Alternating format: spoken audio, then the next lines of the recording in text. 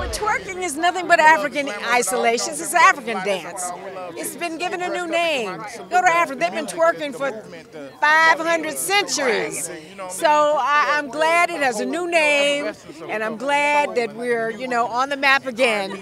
It is African dance, and it is uh, sexy, and it's not something new, but I, it's fun.